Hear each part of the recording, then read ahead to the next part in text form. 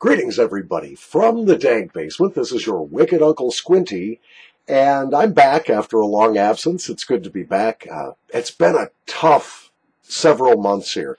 Not only am I having access problems, you know, my blindness versus YouTube and Google, and it's been a it's been a real hassle. But I was also hospitalized for a while. Uh, I went into the hospital. It was an emergency, uh, diabetes. And now I'm okay, uh, feeling better.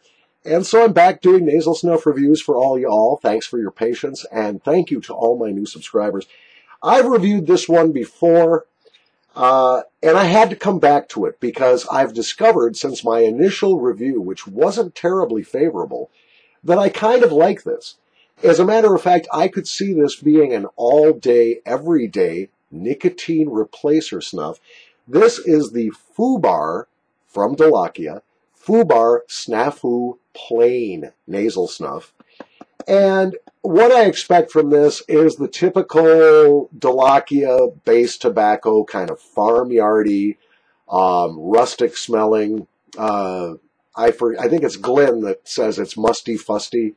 That's kind of what I expect from this. And in fact, that was my experience the last time I tried it. Didn't care for it much.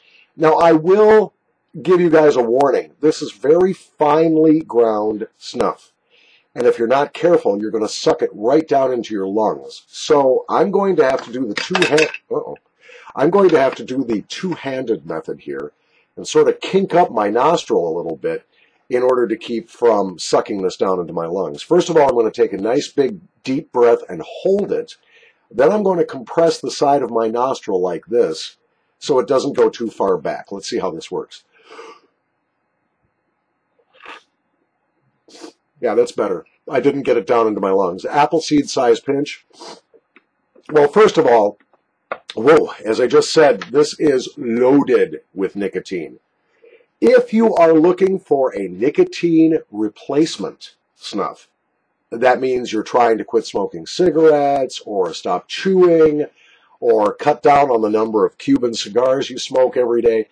Uh, this is a good nicotine replacer. It's very, very strong nicotine compared to many other snuffs I've tried.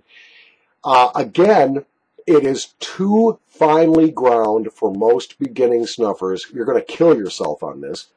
I've seen YouTube videos of uh, U.S. soldiers snorting this stuff in lines through a tube, and I can't, I can't even think about doing that.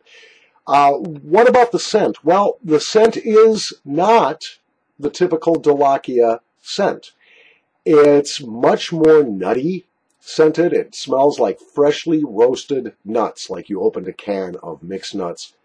Maybe not quite that strong, along with a very good medium cured tobacco scent. I like this. And I can see this being a good nicotine replacement snuff. All day, every day? Probably not.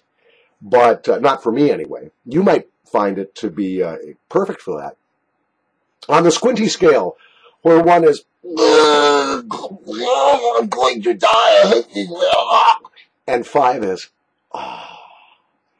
this is a four at the very best. And the, the only reason I'm not rating it a pure five, because I actually like this, is this is a tough sniff. Uh, if you're a beginner, this could very well end your life. Okay, I exaggerate, but it's it's a tough uh, one to to insufflate without taking it deep into your lungs.